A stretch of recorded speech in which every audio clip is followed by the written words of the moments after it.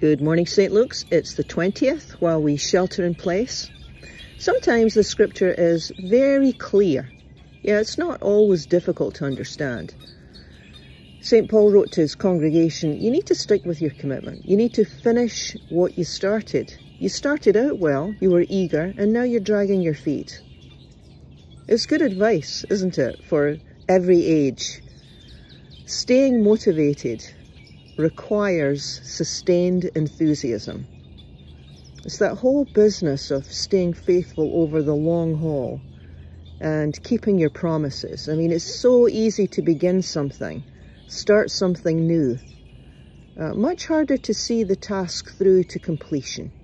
That takes, that takes some inner discipline, doesn't it? Yeah, commitment, staying at it, something to ponder. Peace be with you.